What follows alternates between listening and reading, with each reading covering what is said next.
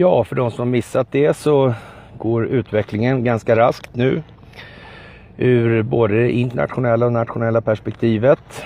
Det är så att det politiska etablissemanget som styrs av den djupa staten har oerhörda svårigheter att få till en med verkligheten i alla fall trovärdig problemformulering. Så det blir så att folk ser att den här kalanka pjäsen som har pågått hela våra liv, att den håller på att ta en ände med förskräckelse. Det är ingen längre som tror på politiker i vart fall väldigt mycket färre än vad det varit tidigare någon gång i det här landets historia. Och vi kan konstatera att eh, när det gäller den globala företeelsen, den djupa staten, så har det aldrig gått sämre än vad det gör just nu. Det här är den part som vi har pratat om i en evighet och som så att säga styr den agenda som styr de utrikesdepartement som är beroende av sina underrättelsetjänster som i sin tur är beroende av telekominfrastrukturen. Och Sveriges roll kan som väldigt många vet nu inte underskattas eller överskattas rättare sagt. För det är så att vi sitter med fingrarna mitt i kakburken. Varenda svensk klarar i alla fall av att skriva landet på ett namn, eller namnet på ett land och eh, sen skriva ordet Ericsson efter och så får man upp det där tillräckligt mycket för att man ska kunna konstatera att det ser inte så bra ut historiskt för svenskt vidkommande. Det kan vi konstatera.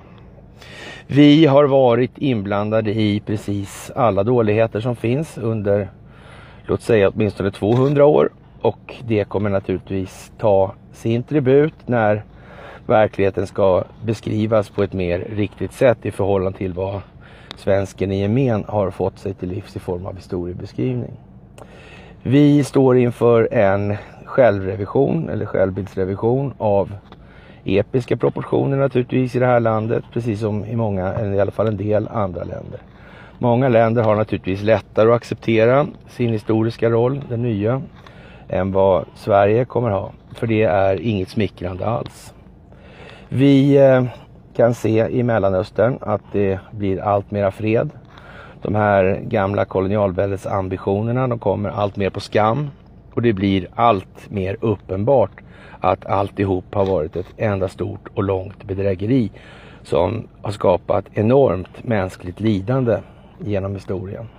Det har alltså gjorts med enskilt vinstmaximeringssyfte och man har använt religioner som kulisser och man har använt politiska ismer som kulisser för att skapa konflikter i olika sammanhang för att kunna härska genom söndring.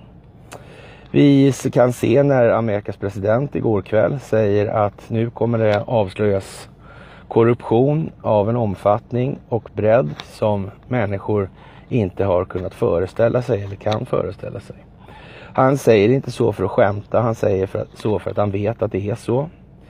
Att han tillsammans med Vladimir Putin och en rad andra länders ledare Märk väl att jag säger ordet ledare att de, eftersom de i vart fall så att säga, främst verkar för landets bästa.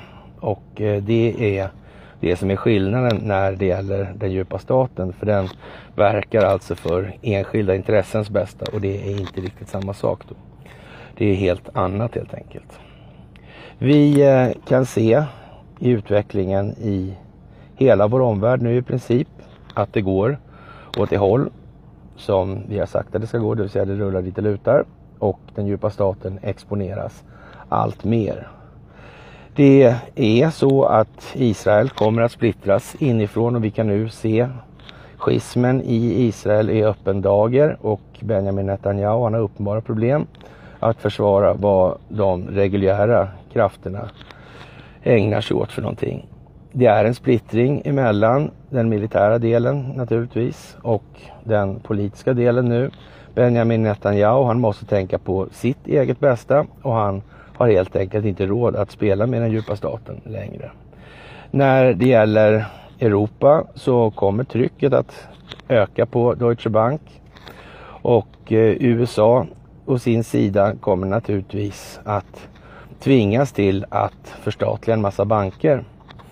När det gäller kontrollen över allt det här så är betalningsmedel och så vidare betalningsinfrastruktur så är det så att telekominfrastrukturen spelar en avgörande roll och när Donald Trump säger att Washington Post främst är en opinionsbildningstrumpet för Jeff Bezos och Amazon så ska svenskar tänka på att det är inte till någon liten omfattning som eh, Jeff Bezos är knuten till Sverige.